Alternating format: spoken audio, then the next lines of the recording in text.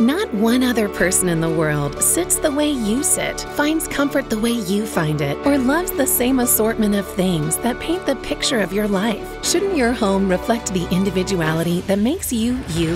There's a furniture store that's as exceptional and boundlessly amazing as you are, and it was created to give you the quality, value, and selection you need to express your incomparably unique self.